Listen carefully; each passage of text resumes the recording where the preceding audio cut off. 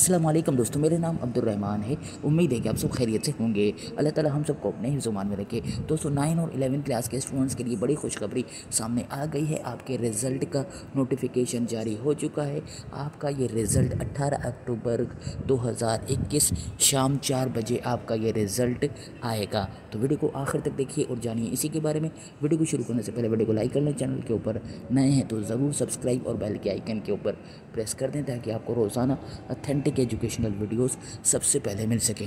چلیے شروع کرتے ہیں۔ دوستو، یہاں پر آپ دیکھ سکتے ہیں کہ بورڈ کا آفیشیل نوٹیفیکیشن یہاں پر آپ کا نائن اور الیونتھ کلاس کا جو رزلٹ ہے، اس کے حوالے سے یہاں پر آپ دیکھ سکتے ہیں کہ federal board of intermediate and secondary education کا پورے پاکستان کے اندر آپ کا جو رزلٹ ہے الیونتھ کلاس کا، اس کے حوالے سے آفیشیل نوٹیفیکیشن یہاں پر جاری کر دیا گیا ہے۔ یہاں پر آپ دیکھ سکتے ہیں کہ ایف بائیس H S S C part one annual result 2021 vice is going to announce the result of HSSC part one annual examination two thousand twenty one on Monday October eighteen two thousand twenty one at four P M تو دوستو، آپ کا federal board کا جو گیارہویں class کا جو result ہے، وہ آپ کا اٹھارہ اکتوبر دو ہزار اکیس شام چار بجے آپ کا یہ رزلٹ اناؤنس کر دیا جائے گا۔ اور آپ کا فیڈرل بورڈ کا جو نائنتھ کلاس کا جو رزلٹ ہے، وہ آپ کا رزلٹ اس کے ایک دو دن بعد یا اسی ویک کے اندر آپ کا جو نائن کلاس کا رزلٹ ہے فیڈرل بورڈ کا،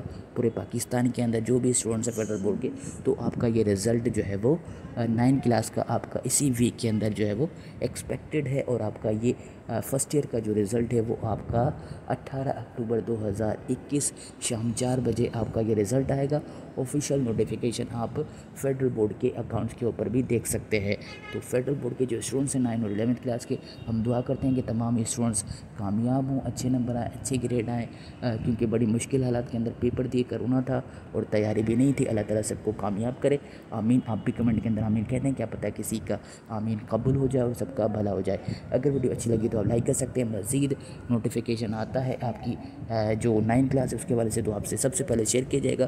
اگر ویڈیو اچھی لگی لائک کمنٹ اس کے علاوہ اس ویڈیو کو اپنے دوستوں کے ساتھ واٹس ایپ پر فیس بک پر شیئر کر دیں تاکہ سب کو یہ خوشخبری پتہ چل سکے۔ اللہ حافظ دوستوں پاکستان زندہ باد۔